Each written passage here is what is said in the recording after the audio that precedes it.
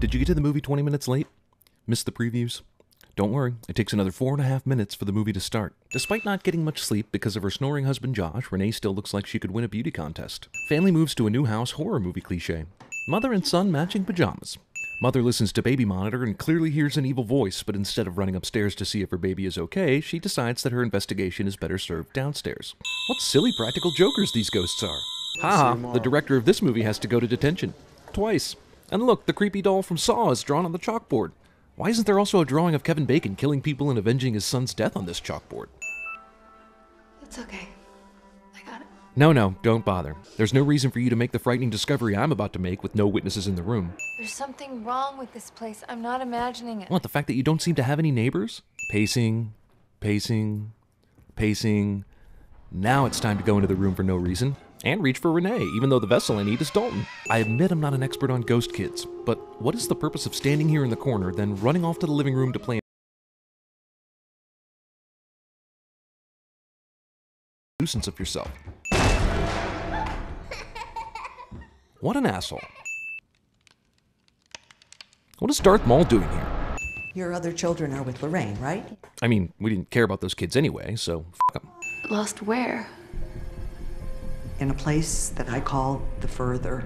Oh, couldn't you have named it something a lot cooler? He's just left us with a physical body and empty vessel. And there are entities that know this because they can smell it.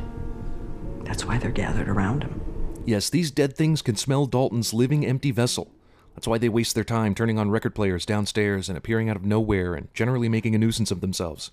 There are other entities who are malevolent and have a more insidious agenda. Hey, that's the title of the movie. To cross over from their realm, it takes time, it takes energy. Far be it from me to understand the time difference between the living world and the not so living world, but this kid has been in a coma for more than three months. It seems like his living body should be easily possessed now, especially by a demon as powerful as this one. If anything, wouldn't this back up Josh's idea that the paranormal investigators are probably frauds? They easily could have seen these pictures and drew something relevant based off of them, but he wants to call them back after this?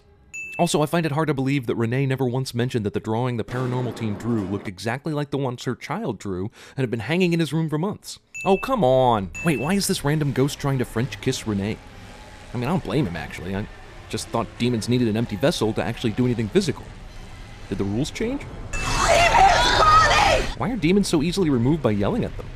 It's amazing this camera picked up footage of the demon, but somehow didn't pick up anyone else that was in the room, or all the other demons that were apparently walking around during that scene. We found out earlier that the worthless kids are being watched by Lorraine, but who's watching them now?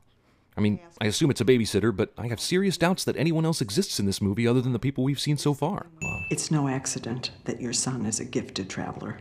The ability was handed down to him. So the ability to travel is genetic?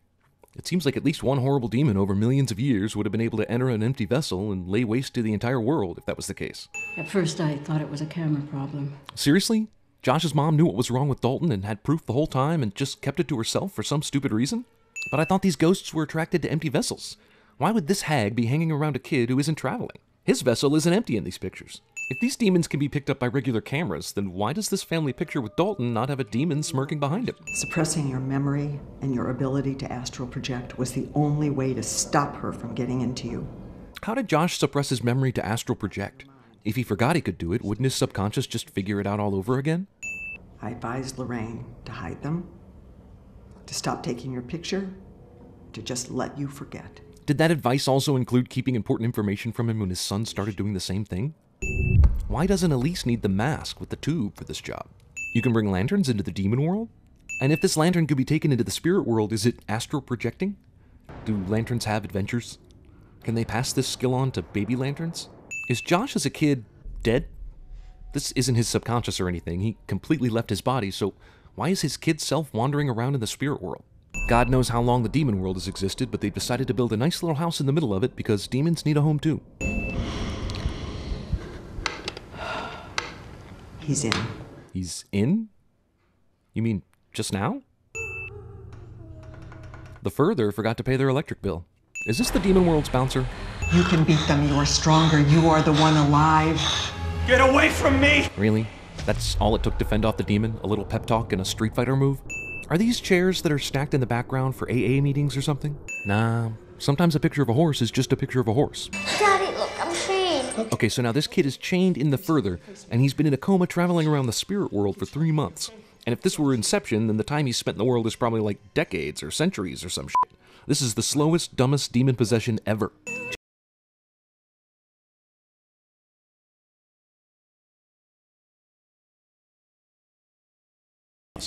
None of this is real. Okay. None of this is real? Are you fucking kidding me? The whole reason we even got to this point is that it's fucking real. Also, if none of this is real, how are Josh and Dalton imagining the exact same things? How did Josh imagine these chains? And furthermore, how convenient is it for these to be imaginary chains so that Dalton can escape? Oh my god, Dad. He is looking. Well, who gives a shit? It's not real. It's kind of hard to believe a demon who was peacefully sharpening his claws a minute ago could turn into such a monster. Geez, where's helpful kid Josh when you need him? So this ghost's plan was to mysteriously open a drawer and just when someone is about to close it, reach out and grab that person? Are these ghosts like trying to join a frat or something? Stephen, Lorraine, go check on Dalton. What? Go check on Dalton. What? Go check on Dalton. I know Specs is freaked out, but really? This command takes three times to register? They're crossing over into our world. I thought they already crossed over, like, several times during the movie. Remember? Apparently, ghosts can be prevented from advancing as long as you close the door on them. Somehow, this door became locked since Josh left it. Can't he just pretend it's open? And, you know, open it? I mean, what's preventing this demon from taking Dalton right now? He's hiding behind a bed in an unphysical world. Why doesn't the demon take him already? And what, did the demon just decide to leave? No, of course not. Demons who desperately want a living host need to make things scarier and pop out of nowhere to accomplish their goals. Not only that, but also make it easier for the victim to escape. I hear if you look at this woman one way, she's an old hag, but look at her another way, and she's a young, pretty girl gazing in the distance. Get the hell away from me! Well, everything seems proper here. Josh yelled at the demon to go away, which is their greatest weakness, of course, and she went away, which is weird when we find out that she actually didn't. That's probably what a kid needs after being asleep for over three months a blaring hot spotlight in the face. The way this kid eats spaghetti. Why? Why? Why? Why? They really can't hear all this yelling? It's not that big of a house.